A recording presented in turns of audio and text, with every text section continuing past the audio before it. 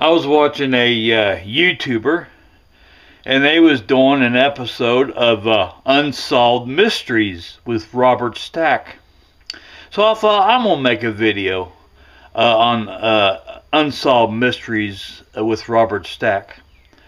I think it debuted in uh, on television late 80s, 86, 87, somewhere in there. Anyway, me and my dad fell in love with the show. And my mom and my sister, but me and my dad really loved the show or program.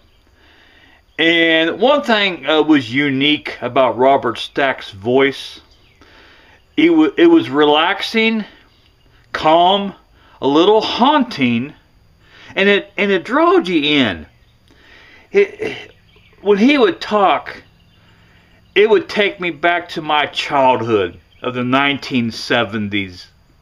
Maybe something happened then that I didn't hear about because we only had three channels on television when I was growing up. And maybe it's something I didn't hear about and I was learning maybe for uh, learning about it for the first time myself. But I loved his voice because it took me back in time. Yet it was very relaxing and you know, uh, you know, he's talking about a code world, yet it can be solved. And it just now, you know. Now I know I may not have a voice like Robert Stack, but let's say an executive producer came to me and gave me a list, and Unsolved Mysteries was on that list. And let's say they offered me a lot of money to host a new Unsolved Mysteries. I'd be very tempted to do it. That's how much I loved the Robert Stack back in the 80s and 90s. Oh, I'm not saying I'm better than him, no. You know, my Uncle Pete, my dad's brother, once said, and a quote, you can get used to about anything. Eh, yeah, yeah, he said, you can get used to about anything. And he's right. You know, you might be a little uh, nervous because you're not really prepared. You've not done it a long time. Robert Stack in front of the camera, you can tell he was relaxed because he did it for a long time. Been in a lot of movies. But that is one show, if they offer me a lot of money, I would host. Now, I don't think there's anything unique about my voice at all. Now, of course, I'm on a I'm on a hundred dollar Kodak PlaySport with probably a cheap microphone. I'm not in front of a studio microphone, no. So I would sound obviously different on a studio microphone. But that's one show you know, if, if they had, if, if, if on the list was soap operas, I'd say no. No soap operas. Absolutely not. But if Unsolved Mysteries is there, I would host it. Or try to. Yeah, you can go ahead and laugh. But let's go back to Robert Stack. He just, oh yeah, one time we was watching,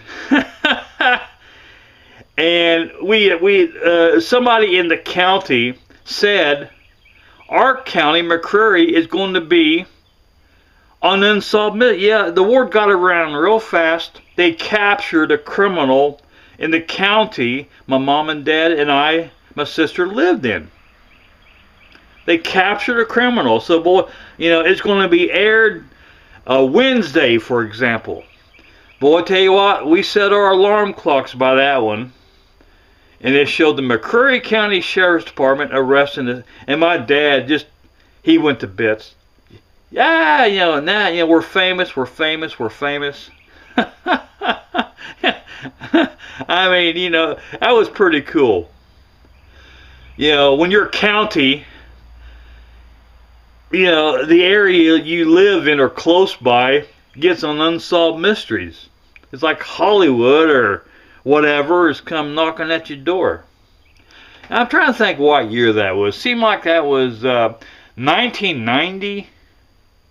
That might have when we was watching, well, we got word of it. Hey, they captured a criminal in our county. everybody let's watch tonight. And boy, we we did not miss that show. Matter of fact, Dad took the telephone off the receiver so nobody could call. yeah, he he unplugged unplugged the telephone. Mom laughed at him and says, What if somebody needs us? Dad said, If it's an emergency, they'll pull up in this driveway. He said, I'm not going to let somebody screw up this. I'm not going to let somebody screw up this show program. So he literally, he literally pulled the plug out of the wall. Yeah. My dad was wanting to watch Unsolved Mysteries that much because it happened in the county he literally pulled, unplugged the cord from the wall and, and put the telephone to the side. So we could, would not, could not be disturbed. Yeah, I think it was like 1990. It might have been 89. We watched it, and, you know, showed the sheriff had the, I forget who was criminal, had him in handcuffs, and Dad just laughing. Yeah! You know, my dad went to bits over it. He really did. But back to Robert Stack. Probably one, uh, the greatest host of a show. It is he just had that perfect, unique voice.